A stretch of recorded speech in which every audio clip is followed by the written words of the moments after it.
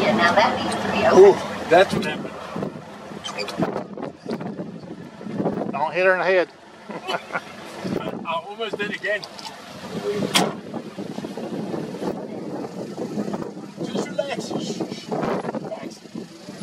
Oh, the lion.